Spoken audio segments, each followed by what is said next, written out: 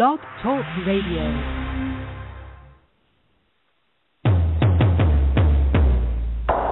Everybody's crazy but me. Everybody's nutty as can be. Hello, this is the brand new Girl George and the Dragons radio show. Welcome everybody. This is Girl George and we have my old friend uh the Gypsy Poet. Hi Gypsy, what you doing? Oh, I'm here. I'm just enjoying the beginnings of the new year and the new program that you started, and I just can't wait to see what what comes of it. It's going to blossom and it's going to grow, and I'm looking forward to it. I guess we should call it Girl George and the Dragons, like everything else I do, because it's it's whoever I can drag on stage. So today we have one of my favorite musicians in the whole world. He's one of the best musicians I've ever met in my my whole life. He used to play with me at the Stork Club, and Mhm. He plays every instrument there ever was. I think he's been playing since he was two or three years old. And uh he's the only one man band I know. He's played all over the world. And how are you doing, Ricky Lee? Ricky Lee Robinson. Here he is. Hello. I'm doing How just you fine. doing? Where you been Um, playing lately? Well, I I took a, a, a long break, and you know just did a couple of those shows at the Missouri Lounge uh, in the last few months. But I basically stepped away from uh, playing regularly for a while, probably since about 2011. And I was working on a record and working on uh, getting the rest of my life together outside of music. and I kind of how had that long have you been playing, sorted. Ricky? How long have you been playing? Uh, you mean totally or like anything, thing anything. When did you start playing? How old were you? I started playing when I was five. That's why I thought, what'd you play? Uh, uh, I was a, a organist and a piano player, uh, and then I was also a cellist.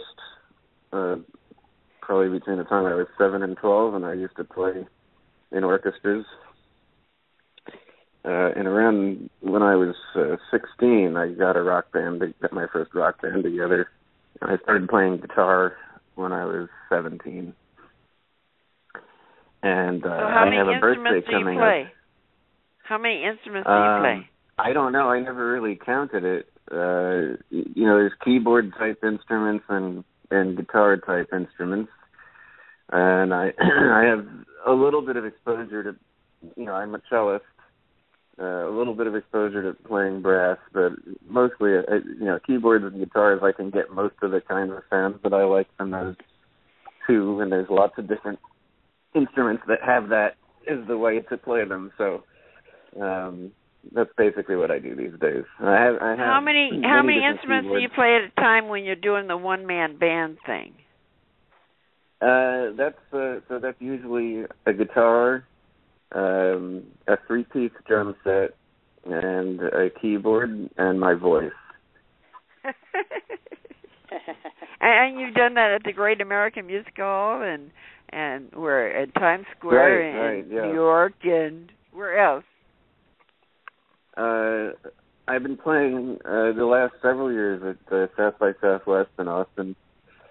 Um, I still like to do it here in town at, at the uh, Embarcadero in San Francisco, and occasionally uh, I will go down to Los Angeles and play there. And I've also played up in Portland and uh, Seattle on this side. So your birthday is coming up. You're Aquarius, right?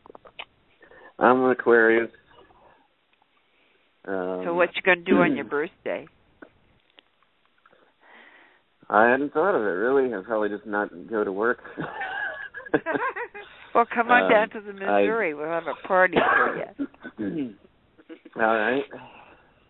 We'll keep that in mind.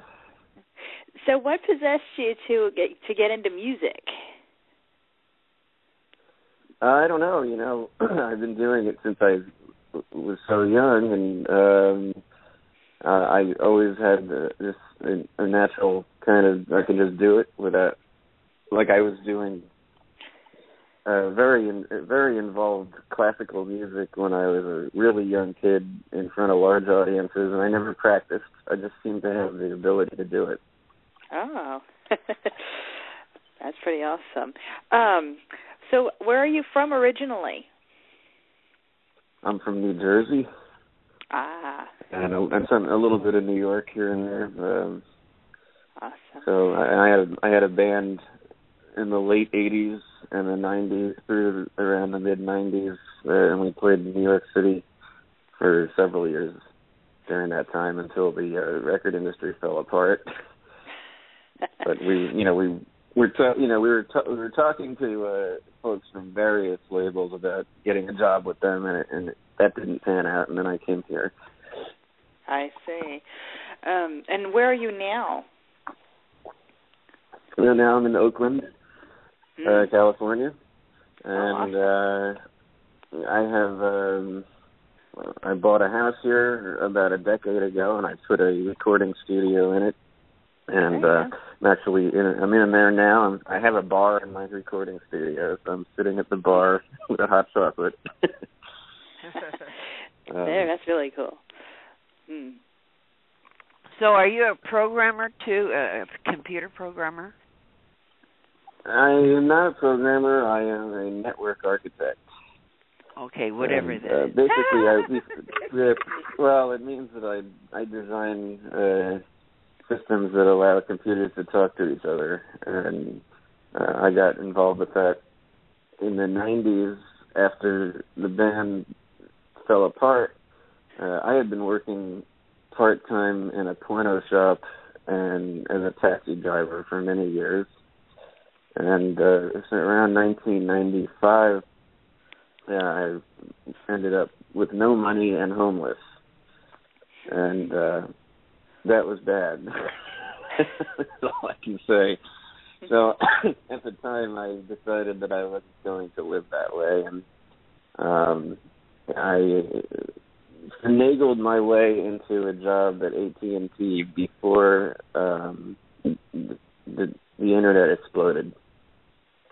And while I was there, I was I, I uh, got access to uh, a room that had about a million dollars worth of networking equipment that most people would never be able to get their hands on. And when I had that in front of me, I learned how to do it.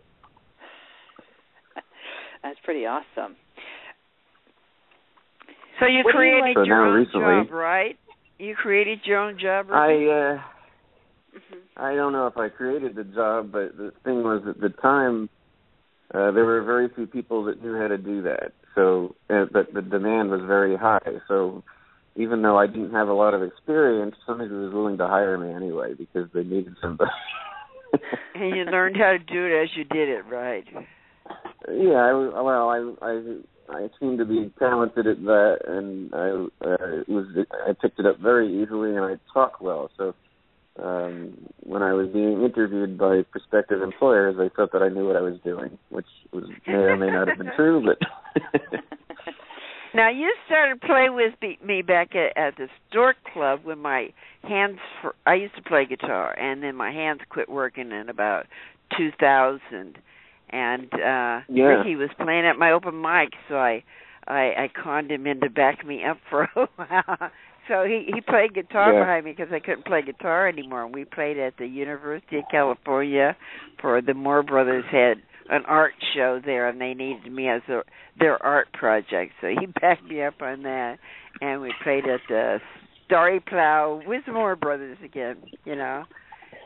And at the Stork Club on the weekend with the, the Moore Brothers, we used to, you know, open for the Moore Brothers once in a while. So Ricky is a, an amazing guitar player, among other things that he plays. But his guitar is amazing, and the way he plays Space Oddity is just awesome. It's it's it's better than the original, right, Ricky? I've asked Uh, him to do it so many times. ha- he hates doing it now. yeah, I, I, st- I mostly stopped playing that. In fact, um, yeah, it, even if I've I've played it a couple of times since those days, and, and people are like, "Don't play that." we heard that one enough. And they don't mind me doing it, but then it, it creates a reaction where all of a sudden people start playing that song. And, uh, no, I love it- the way it- you it- do it. You're just amazing. All by yourself. I mean, he had a whole band and stuff to it. It was, but you all by yourself. It's just just magic. What did your mother that's, do? uh, mother and father do? way. What kind of work did they do? Uh, my mom uh, was a um, speech therapist before she retired, and my dad was one of the original programmers at IBM before he retired. Oh, Yeah, so he- you he- have he, you have Yeah, I computers had in your blood. I had ex- I had that exposure in the '70s. He used to bring that home, so I uh, I was not it was not foreign to me. I knew quite a bit about it. well, that that's Uh, that. he was one, he was one of the original guys that yeah he he made the original um, code in the '60s for the, the big IBM machines, and it was all done on punch cards. Yeah, I used to know a guy that worked at the Federal Reserve Bank that was a, a computer programmer back in like 1973. You know, when it was Yeah, nobody well, I was it. back in the the good old days.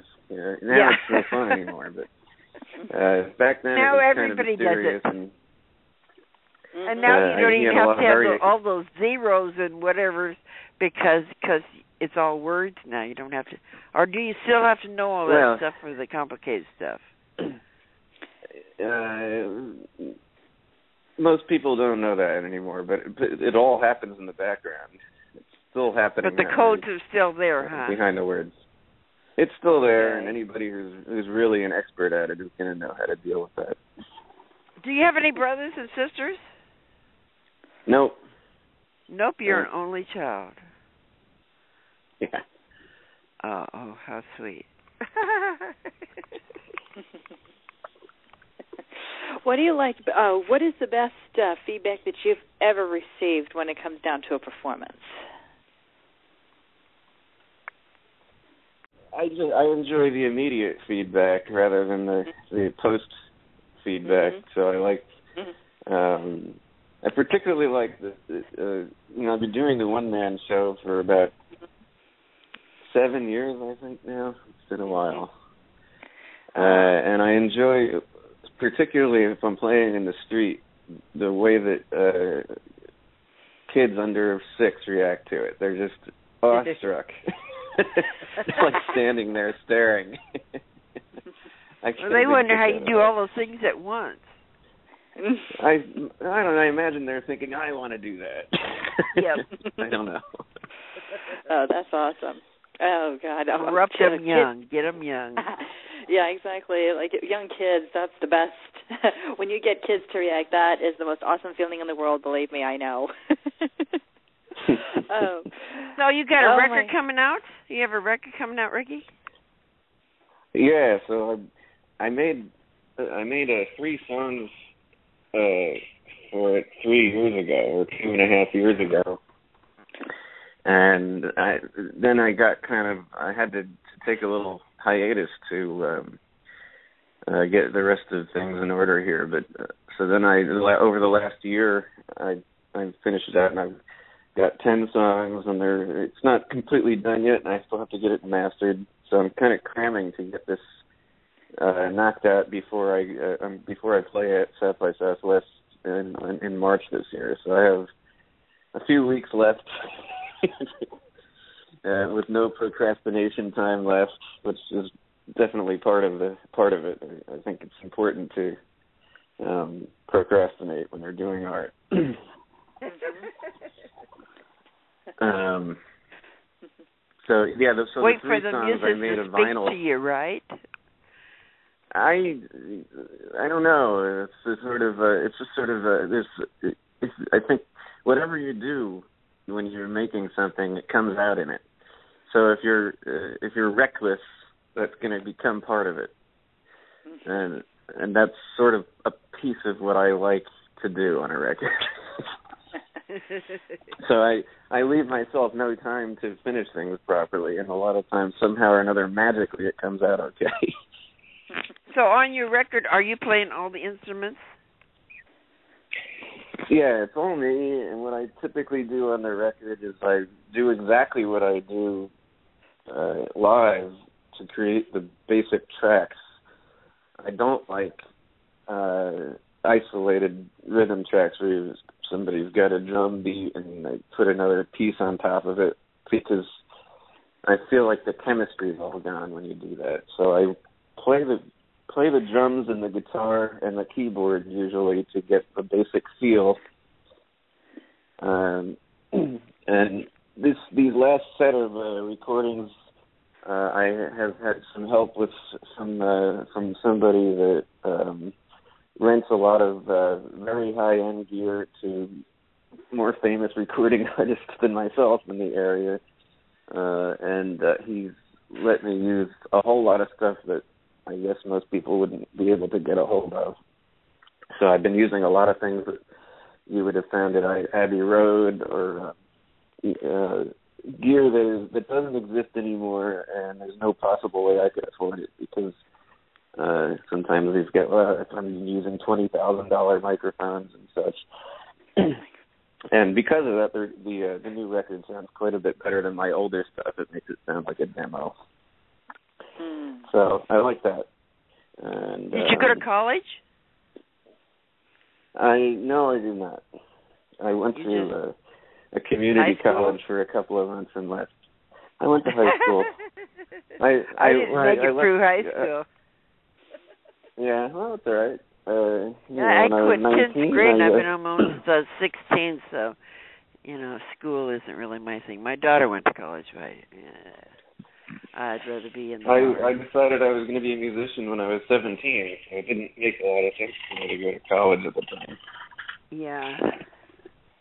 Unless you're studying music or or you know producing or Yeah, I was never that. I was never that kind of musician. I was I was an artist. Yeah, me too. It was just by by way of figuring it out as you go.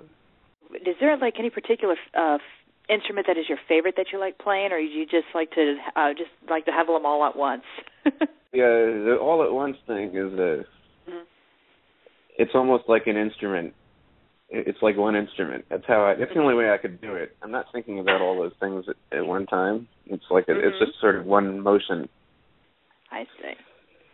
Uh, and I guess I enjoy that over just about anything. I, I also like playing um, uh, classical organ, the kind where you've got both uh, keyboards and both feet on the pedals.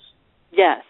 Yes, I know what you're And I, talking yeah. I, I I studied that quite a bit when I was about ten. Oh, wow. Uh, when I when I was ten, I made my my organ teacher go Mhm. through. Are you familiar with this piece called "Toccata and Fugue in D Minor" by Bach? Yes, I do, Very yes. famous. Yeah. So uh, I wanted to play that when I was ten. wow. That Uh, phenomenal. We spent a year. Mhm. We spent a year and we did it measure by measure. Oh, wow. that's Gypsy Poet is a piano teacher, by the way.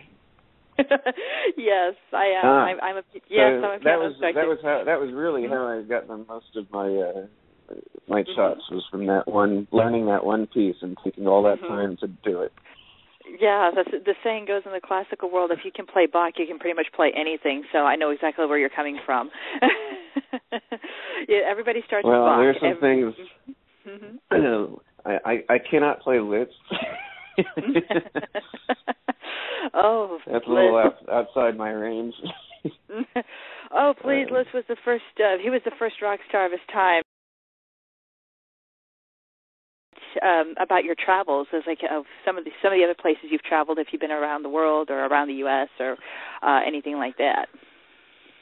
yeah, mostly the. Uh, I haven't actually ever left the country, and some Mhm. someday I'd like to. Uh, all the places I've played have been on the coasts, Mhm. and um I have uh, just. It hadn't ever really. I, I was very, very poor and had nobody backing me when I was young, and I had a band.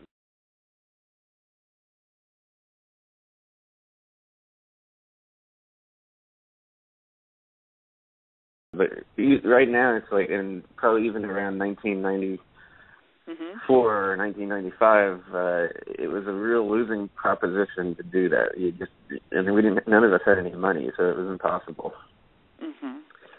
Right, I understand. that. Um, I yeah yeah today.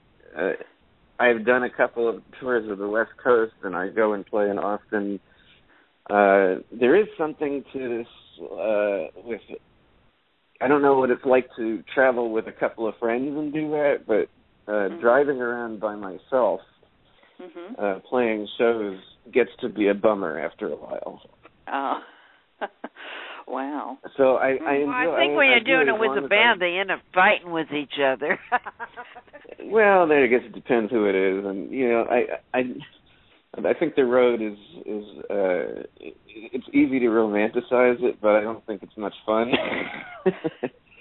Well, I was on the road for a while with Doctor Hook. That was a lot of fun. I mean, you never got any sleep ever, ever, ever. We were on planes every every morning that that stick notes on us because we were so out of it we didn't know where we were by now then. And the road manager Well, nine year would put notes on us saying where we were going to go and stick us on a plane and that happened like every day. So we never got any sleep. We didn't know where we were or what we were doing. They throw us on stage and and we'd do it. But it was fun for a while. yeah, but I wasn't sounds- on it that sounds, long. That sounds sounds normal to me. yeah, but Uh, I, I'm sure if you did it for years and years and years, it'd get pretty, pretty, pretty much, and then you couldn't never have a relationship ever. Mm, wow. Is there anything else that you want to talk about that you've uh, that you really got into? Well, what I mostly pay attention to is popular music, even though I I used to play Mm-hmm. that stuff, and I I still enjoy listening to it, but I don't. It doesn't seem to be something I put on. So I, hmm um, you know, I, I mostly uh, I enjoy uh, music from the '60s and the '70s before things fell apart, and I think also at that time that, that uh, there was no way of making a record uh without already having the goods. Hmm So you, nobody was anybody any no way anybody was going to let you into a, a recording studio because it was too expensive back then. hmm Unless you already had something that was worth listening to. There wasn't as many things had been done at the time, so there was a lot of open space to create. Right. So I, when I hear the music from that period, it sounds much more real to me. hmm Right. And I'm still I'm still listening to things from it that I haven't heard. mm, that's awesome. Uh, That, that, and I that- buy a lot of uh, I buy a lot of vinyl records today because the the sound of it is so much better than the computer that it's just a totally different experience. Yes, that I can see where you're coming from. Yes, the vinyl is a very different experience from the from the digitized versions of what we hear today. I have to agree there.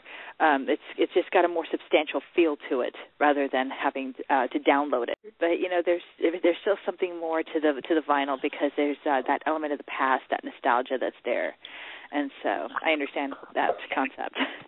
yes. Well, I bought so I just bought all the uh, like I'll buy all, all artist stuff on vinyl. I got Oh. um I just got uh, the Raspberries, Mm. uh, Badfinger, and all the Carpenters albums on vinyl. oh gosh, you got all you got all the good music. yes, you do. You do. You have good music there. Um, what are you doing uh, now? Uh, yeah, I'm probably going to play a couple of shows before I go to Austin, but the only show I'm really going to announce formally is when I go play over there, and I just set up in Sixth Street.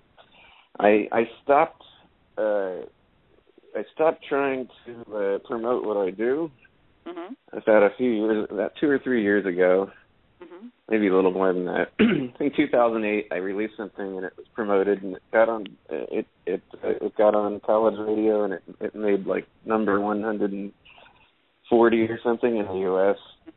Awesome. And uh, you know, it fizzled away, and I think I sold about a thousand dollars worth of MP3s. Uh, uh, I don't. Uh, I just do it because it's what I do now. So I just uh, and I don't really. I, I like it to be a surprise, and people don't know what's going to happen. mhm. And and I don't like dealing with booking shows, or or uh, it, which is basically uh, just how famous can you try to get? That's all. It's all that. That's all it's about because that's what people go to see, and Mhm. I'm not interested in that anymore. I was probably 20 years ago, but so I'm just gonna go do the show in Sixth Street, Mhm. and uh I am working on this job for the next year or two, which is not music. And after I get finished with that, I believe that I'm going to be able to completely uh just do music after that. So thank you for being on my very first show, and thank you, Gypsy Poet, for being on the show. Oh, hey. And it was great talking to you, and we'll find you up on YouTube or Facebook. That's Ricky Lee Robinson, one of the most amazing artists you'll ever come across in your whole life. Thank you, George. Absolutely. It's been an awesome show, guys. Check it out on YouTube and check and check Ricky Lee Robinson on Facebook and everywhere else, everywhere else you can find him, even on iTunes. And I hope that you enjoy the show. Thank you so much. I got to say adio for now. And girl George, my lady, you are sparkling, you are funny, and you are. And I'm so happy to have been part of your very first show. So I wish you the best in 2014, and may the fabulous girl George radio show take off. And check out uh Gypsy uh Poet still has her show going over on her site, so she'll be having some more shows pretty soon. So she's Yeah. taking a couple weeks off to help me get mine going, and then she'll start her. So so watch Yep. and listen to both of them. So Mhm. thank you for coming to the Girl George and the Dragons radio show and be part of Oh. my dragons.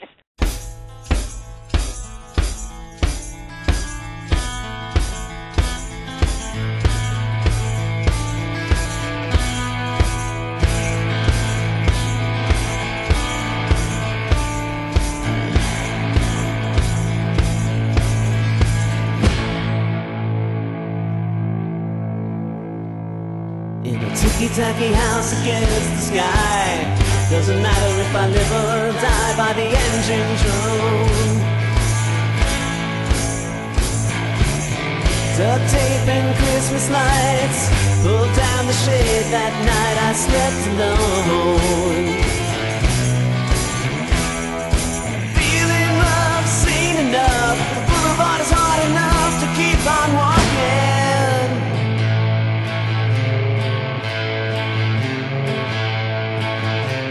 a